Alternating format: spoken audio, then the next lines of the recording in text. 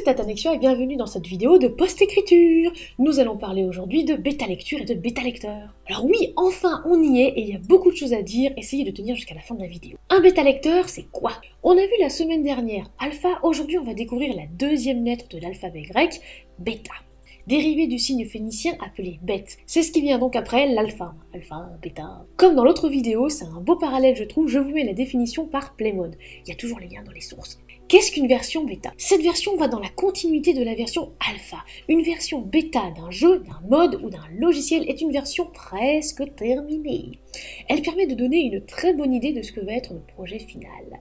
En général, la version bêta est confiée à un groupe d'utilisateurs qui seront chargés de traquer tous les bugs et incohérences du mode. Tout comme pour les versions alpha, il peut y avoir plusieurs versions bêta en fonction du nombre des retours des utilisateurs. La version bêta est donc la version de test avant le lancement d'un jeu. Est-ce que là, vous voyez à peu près où je veux en venir côté littérature? Alors je veux vous parler, comme dans la précédente vidéo, de mon expérience personnelle. J'ai testé des jeux en bêta. On est souvent bien plus nombreux qu'en alpha déjà hein, pour les jeux vidéo.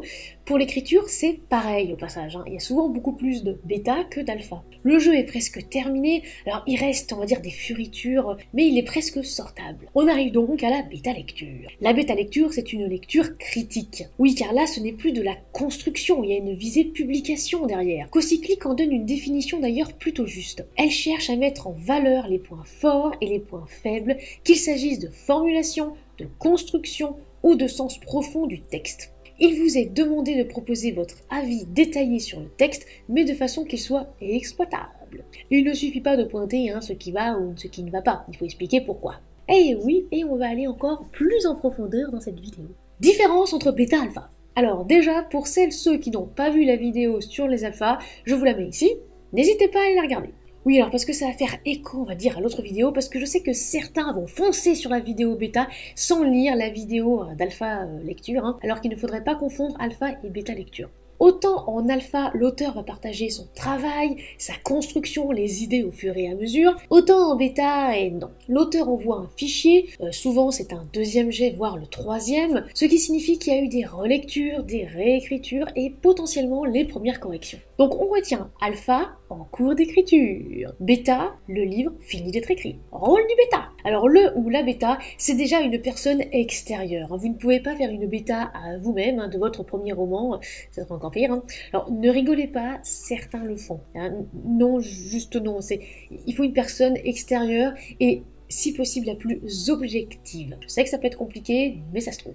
La bêta lecture, c'est une lecture critique. C'est-à-dire qu'un bêta ne va pas dire Oh là là, ça c'est pas bien ça. Ou alors Ah ouais, c'est génial. Non, il argumente, il l'explique. Par exemple, si je vois une erreur sur le plan médical, je vais aller chercher les informations, des informations valides, vérifiées et vérifiables, voir ma vidéo sur les recherches. Le but d'un bêta, c'est d'aider l'auteur à améliorer son Le bêta lecteur intervient sur un manuscrit avant le correcteur, cela signifie qu'il ne fait pas de correction. Alors pour certains euh, comme moi, hein, oui on peut pas s'empêcher de criser et on corrige un petit peu en marge parce que des fois hein, ça nous énerve. Mais bon, normalement on laisse ça au correcteur. Hein. Alors il y a des bêta correcteurs qui existent évidemment, je les mets à part pour le moment, c'est pas le sujet de, la vidéo. On est vraiment au bêta lecteur qui dit lecteur dit lecture. Plus un câlin pour ceux qui ont suivi. La bêta lecture c'est hyper important on ne doit pas faire l'impasse. Peu importe la longueur du texte, une fiche format, nouvelle, novella, roman, saga. Pourquoi?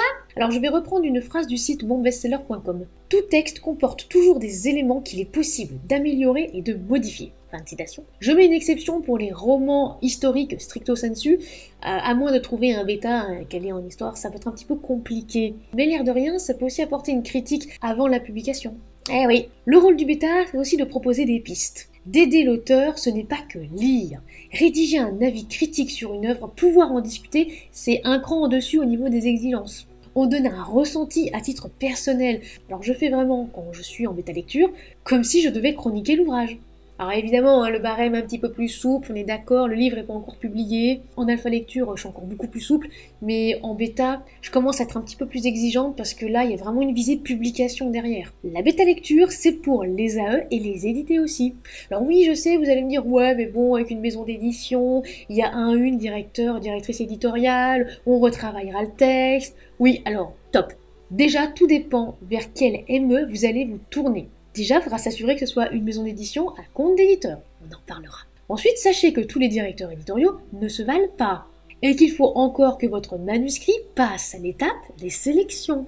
J'insiste sur ce point. Et si je me permets d'en parler, c'est parce que je fais partie de plusieurs comités de lecture. Et j'insiste parce que j'en ai parlé avec des directeurs éditoriaux, un texte sur lequel il n'y a aucun recul, ça se ressent très vite et ça ne passe pas. J'en ai encore reçu un récemment dans une boîte mail, je ne dirai pas de quelle maison d'édition. Je peux vous dire que la personne, il n'y a pas eu de bêta lecture, il n'y a eu aucun recul, et dès la page 10, il y a déjà 5 incohérences. Mais pas des incohérences hein, de style qui vont être expliquées après. Non, là je parle des incohérences de nom de personnage. Ah, le personnage, il change un petit peu d'orthographe de nom, comme ça. Ou aussi euh, la direction avec la carte. La personne qui met une carte qui dit ouais on va aller au nord. Ah, sur sa carte, c'est au sud. Il y a un petit problème. Ça, c'est typique de quelqu'un qui n'a pas eu de bêta lecteur. Quand effectivement on termine la lecture, puisque je fais quand même un effort de lire jusqu'au bout, et là je m'aperçois que ben, dans les remerciements, la personne se remercie en fait d'elle-même d'avoir tout fait et n'a eu aucun bêta lecteur. Ben voilà, cette personne-là clairement a besoin de bêta lecteur. Et c'est d'ailleurs ce que je lui ai répondu en mail. Je lui ai demandé de retravailler son texte et d'aller dénicher des bêta lecteurs, au moins trois. Donc, ne faites pas l'impasse sur la bêta lecture. Idem pour les auto-édités. Déjà, ça permet de grossir son réseau. Ne vous en privez pas. Parlez de son ouvrage. Les bêtas peuvent être des personnes, alors c'est mon cas à 100%, qui vont acheter votre ouvrage à sa sortie. Elles vont en avoir un avant-goût, en plus elles vont peut-être voir votre évolution, le développement, et ça va leur donner envie d'acheter. Donc ça vous fait déjà peut-être, alors si vous avez trois bêta lecteurs, et eh bien peut-être déjà trois ventes avec aussi trois avis qui vont arriver sur les plateformes. Pourquoi vous en priver Alors j'ai reçu un MP sur Twitter l'autre jour dans lequel un auteur qui m'avait rencontré lors d'un salon ne comprenait pas comment j'avais pu démarrer. Lui n'a fait aucune vente sur 5 mois, pourtant il a multiplié les salons, il a fait quelques communications sur des réseaux plutôt comme sur Facebook, il a même en plus sponsorisé ses posts, mais il s'est rien passé. J'ai passé du temps avec lui, fouillé un petit peu ses comptes euh, aussi, et je me suis rendu compte euh, qu'il avait écrit, réécrit son livre, mais il n'avait jamais eu aucun bêta, il n'était pas du tout passé non plus par un service de correction, et il n'avait pas fait la promotion plus que ça sur les réseaux. Or, ça lui aurait déjà fait connaître un peu de monde. Ça peut paraître bête, mais si vous avez déjà effectivement trois bêta lecteurs qui vont après aller sur les plateformes et écrire un avis, alors je dis bien un avis constructif, hein, parce que si c'est pour juste dire ouais, ce livre il est génial, non, Hein, on revient à comment chroniquer tout ça, ça, ça ne sert à rien. Il faut au contraire que ce soit construit pour que les potentiels lecteurs se disent ah ouais, là c'est pas mal, là il y a vraiment quelque chose avec ce bouquin. La bêta lecture, ça profite à l'auteur mais aussi au bêta lecteur. Eh oui, parce qu'on lit plusieurs styles différents, en plus on apprend, j'apprends souvent de nouvelles choses en plus avec les auteurs dont, je m'occupe en BL, donc on apprend, c'est génial. Et on a aussi un engagement dit d'ordre moral. Hein. Alors je sais que certains services de bêta lecture sont payants, euh, je le fais gratuitement euh, à titre personnel, en revanche vous connaissez le temps d'attente, hein. on, verra plus tard hein, pour me payer, mais sinon vous avez les plateformes pour ceux euh, et celles qui voudraient nous soutenir, il y a les plateformes Tipeee, Utip, si vous voulez regarder des pubs des clips, ou même juste vous abonner à la chaîne, ça peut nous faire on passe maintenant aux qualités d'un bêta-lecteur. Voir avec l'auteur ses attentes, ses besoins, sa capacité de réagir, ce sera donc l'adaptation. Ensuite, l'empathie. Oui, il va falloir un petit peu vous mettre à la place des personnages et de l'auteur. Le sérieux. Soyez rigoureux et sérieux dans votre travail. La bienveillance soyez bienveillant envers l'auteur et pour les auteurs, bêta-loup, soyez bienveillant envers vos bêta-lecteurs. N'oubliez pas qu'ils lisent souvent beaucoup, et qu'on essaye, on va dire, d'améliorer. On ne dit pas qu'il faut absolument prendre toutes nos remarques. Non, bien sûr, vous êtes complètement indépendant vis-à-vis de nous. Mais acceptez parfois de vous remettre un peu en question. La précision. Précis dans le sens des propositions. Là, je sais que c'est un petit peu un levier, même moi, j'ai encore un petit peu de mal euh, là-dessus. Je commence, on va dire, à faire un petit peu plus preuve euh, d'attention et d'avoir un échantillon de propositions un peu plus large. Si par exemple, il y a une phrase qui vous paraît bancale parce que les mots sont mal utilisés, genre on n'élude pas un coup on élude un fait, ça, expliquez-le. Ouverture d'esprit. Alors ça, c'est aussi à voir entre l'auteur et le bêta-lecteur, mais il faut souvent avoir vraiment beaucoup d'ouverture d'esprit. N'oubliez pas que ce que l'auteur écrit, c'est pas vraiment forcément ce qu'il pense ni ses opinions. N'oubliez pas que vous critiquez par exemple un personnage du récit, si par exemple le personnage il est raciste, mais qu'après il se fait en prendre plein la gueule, parce que bah voilà, hein, l'auteur va vous faire peut-être passer un petit message. Très bien, n'allez pas dire ah non mais il faut surtout pas que tu mettes de personnage raciste, hein, ça ça va pas. Mais ça dépend en fait de, de la morale et du message en fait qui va être derrière justement. Faut un petit peu, on va dire, faire attention à la visée et à ce que l'auteur en fait a voulu faire. Ce que l'auteur doit garder en tête. La bêta lecture, c'est une aide, un point de vue. Cela peut heurter vos idées, vos convictions. Votre bêta pourra vous dire ah tiens, bah ça me fait un petit peu gêné euh, ce passage, j'aurais plutôt mis ça parce que les explications, faut jamais oublier les explications. Si vous dites que vous n'avez pas apprécié ce passage ou que ça vous a gêné, pourquoi? Est-ce que c'est parce qu'il y a beaucoup de dialogues? Parfois, j'ai déjà eu effectivement un auteur euh, en bêta lecture, je lui ai expliqué, il y avait 24 pages de dialogue, eh, personnellement ça coince un petit peu hein, pour ma part. Je me suis dit, ok, il y en a qui adorent les dialogues, mais peut-être falloir un petit peu recouper parce que là les personnages restent un petit peu figés. Eh, effectivement, il a retravaillé ça, il y a eu beaucoup de scènes en fait mises entre, et ça va beaucoup mieux. Expliquez vraiment pourquoi un passage ou une scène vous gêne, car ça va aider l'auteur à s'améliorer. Mais il appartient à l'auteur de faire ce qu'il veut des éléments reçus. C'est sa liberté et son travail de faire en fait. Il peut soit accepter les éléments des retours, soit non. Alors je vous mets un conseil que j'ai lu aussi sur le site monbestseller.com que j'ai trouvé pas mal. À mon sens, en tant qu'auteur, il est essentiel de se positionner en ouvrant grand les yeux, les oreilles, mais en conservant la totalité de son indépendance vis-à-vis des interventions des bêta-lecteurs. Ils nous font l'honneur de passer du temps sur nos écrits et de nous faire part de leurs réflexions, merci à eux. Après, libre à chacun de tenir compte ou non des remarques portées à son attention. Comme on le dit souvent dans le cadre de bêta-lecture, prends ce que tu veux et jette le reste. Oui, effectivement, moi j'aime beaucoup ça. Oui, et je rajouterais même, tout dépend aussi de la visée que vous voulez euh, avoir, on va dire, pour vos récits. Il est vrai que certains veulent juste publier comme ça leur récit sans forcément vouloir gagner de l'argent avec. Hein. C'est peut-être juste une passion comme ça. Voilà, ils ont écrit euh, quatre romans. Bon, bah il n'y a pas d'avis sur Amazon. Ah oui, je, connais une autrice comme ça. Il n'y a pas d'avis sur Babylio. Le livre n'est pas sur Booknote non plus. Euh, mais c'est pas grave, la personne l'a publié, elle en est fière. Oh là, d'accord. Je comprends que vous ne vouliez pas forcément de bêta lecteur euh, pour ça. En revanche, si vous visez autre chose, il va vraiment falloir penser au bêta lecteur. On va en reparler. On fait quoi?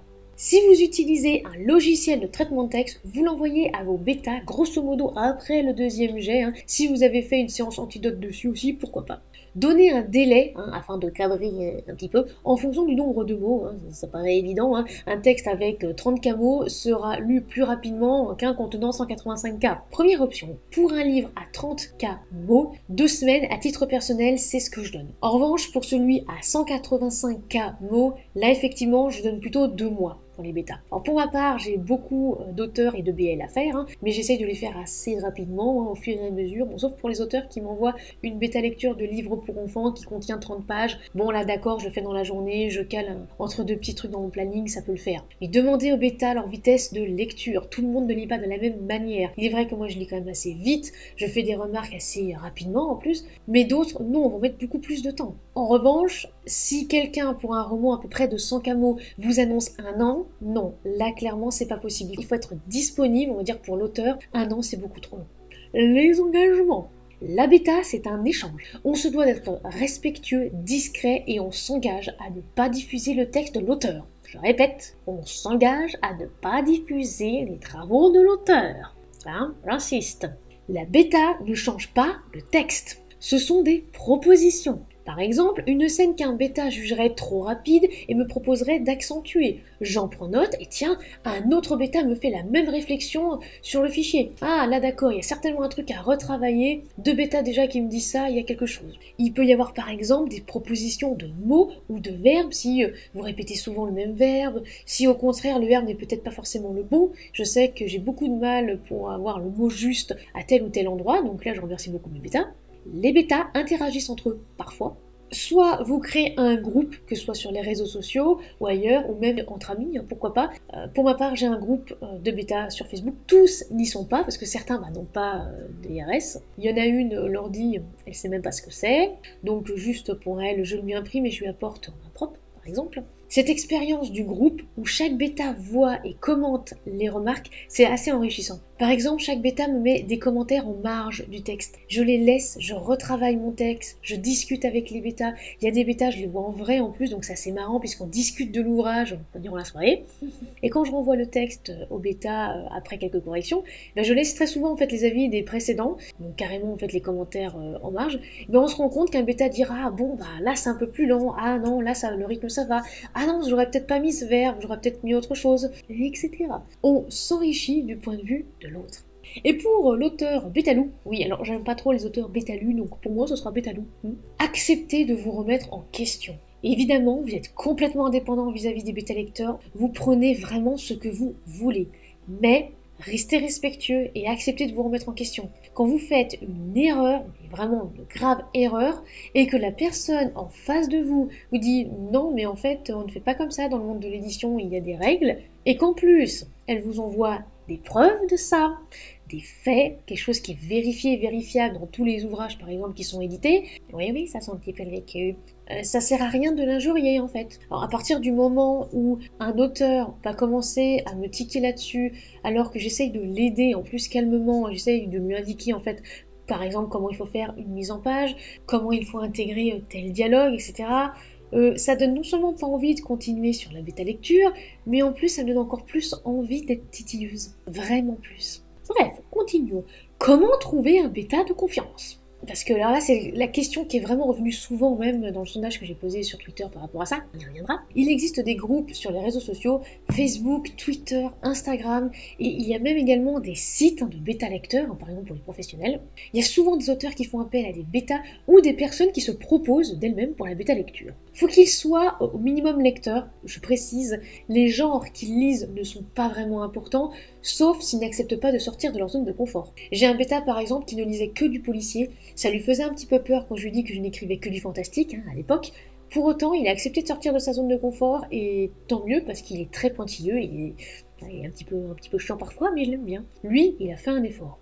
Mais ne vous acharnez pas avec quelqu'un qui ne s'impliquera pas. C'est vrai que la grande question, ça reste le point confiance. Comment avoir confiance? Alors déjà, même si ça paraît évident, si vous travaillez sur Word, mettez un filigrane sur votre document et débutez avec des bêtas qui font partie de vos amis. Et pourquoi pas votre éditeur aussi, hein, oui c'est possible, votre directeur éditorial, directrice éditoriale, ou pourquoi pas un professionnel. Il y a pas mal de personnes dans les commentaires sur mon sondage Twitter qui ont préféré me dire Ah, mais moi, les bêta lecteurs, c'est uniquement des professionnels, on signe un contrat, comme ça, moi, je suis sûre que mon livre ne va pas se retrouver n'importe où. Et oui, vous allez peut-être vous dire Quoi? Mais comment ça? Il y a des bêtas qui diffusent des ouvrages? Oui, j'ai eu effectivement une bêta qui a diffusé un de mes ouvrages. J'ai tout de suite vu que c'était une version bêta, puisque je fais une version grosso modo euh, par bêta maintenant. Donc je sais très bien qui diffuse.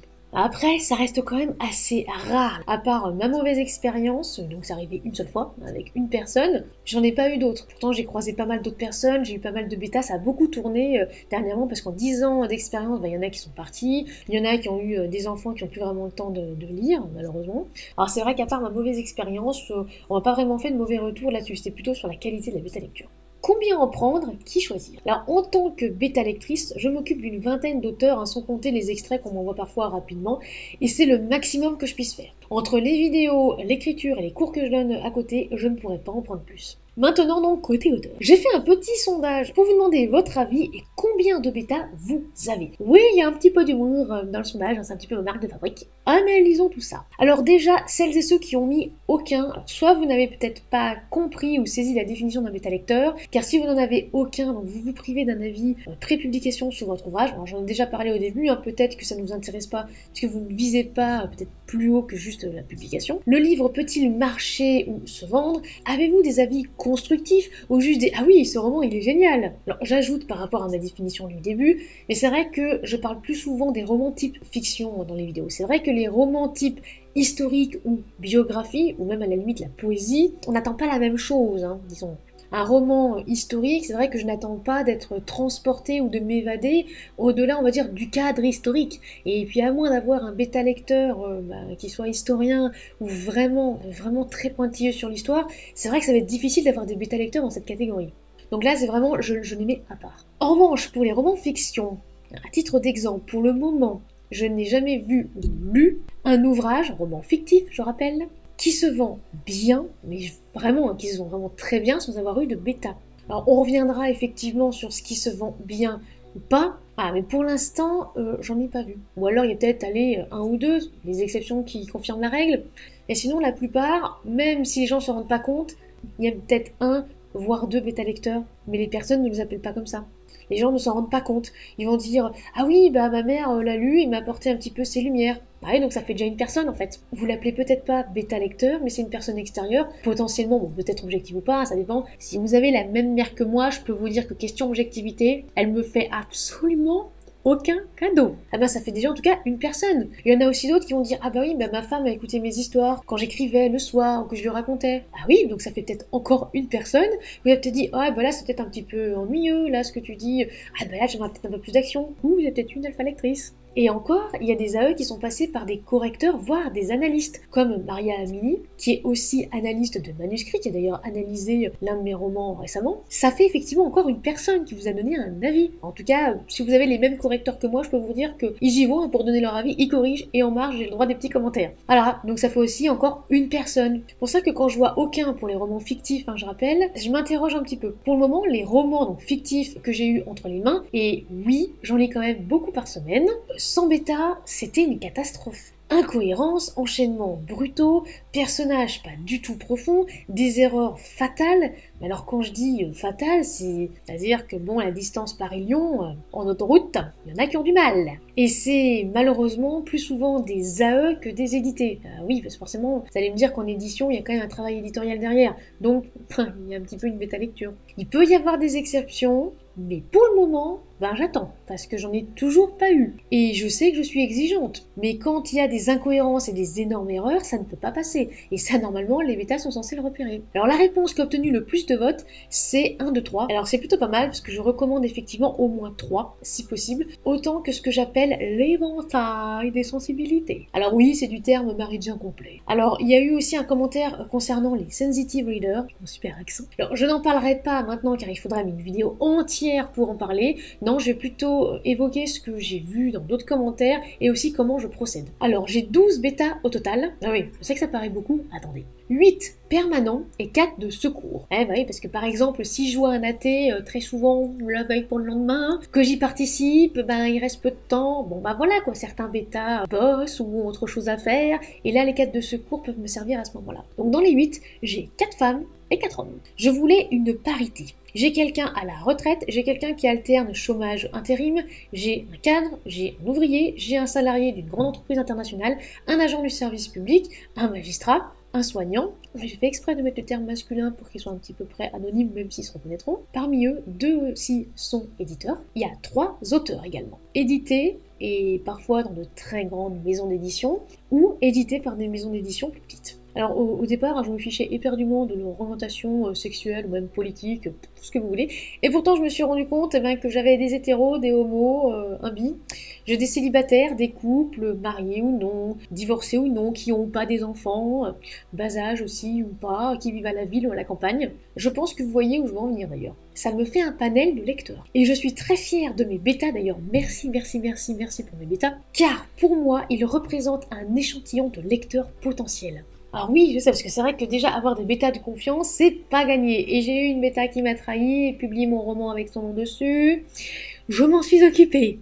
Maintenant, si vous réussissez à avoir trois bêtas, alors oui, trois parce que c'est un pair, vous allez comprendre dans les prochaines vidéos quand on va parler après des corrections. D'âge et de sensibilité différentes, je trouve ça bien. Ah oui, alors les auteurs qui choisissent 10 euh, bêtas, oui, oui, c'est arrivé. 10 jeunes filles de 18 ans pour lire un Young A avec la même classe d'âge, la même passion et les mêmes activités, vous n'avancerez pas.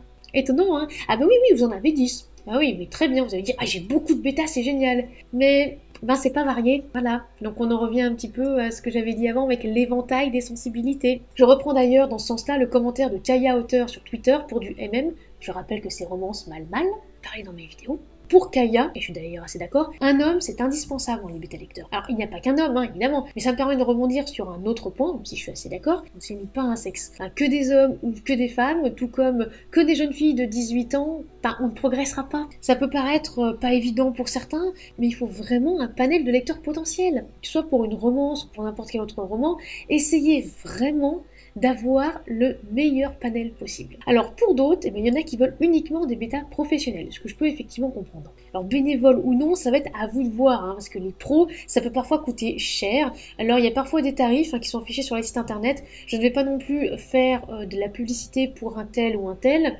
Je vais juste dire que la personne qui a analysé mon manuscrit, donc La magie du destin, tome 1 réédité, m'a donc donné un avis dessus. Elle a quand même passé pas mal d'heures, on va dire, à décrypter, à essayer de chercher, et elle m'a vraiment offert un compte rendu très complet. Ça, c'est vraiment le genre de bêta lecture que j'apprécie. Alors que ce soit pro ou même à titre bénévole, n'oubliez pas la fiche. J'en avais déjà parlé dans la précédente vidéo sur l'alpha lecture, mais là c'est pareil. Vous pouvez effectivement proposer à vos bêtas une fiche de lecture à remplir, pourquoi pas. Je vais vous en proposer dans les sources sur le drive si vous voulez en dire un petit exemple. La fiche n'est pas obligatoire, c'est juste, on va dire pourquoi pas pour aiguiller. Moi je sais que j'ai une bêta lectrice, elle veut absolument remplir une fiche. Pour elle, il faut absolument qu'elle ait des questions et qu'elle puisse remplir quelque chose. Bah, très bien, pour elle, je lui fais une fiche de lecture. Alors, attention aussi, petite précision, quand je dis professionnel, hein, les bêta pro, c'est vraiment professionnel. C'est-à-dire vraiment des personnes qui ont de l'expérience ou qui travaillent par exemple dans l'édition et pas des auteurs qui se disent bêta pro juste parce qu'ils ont sorti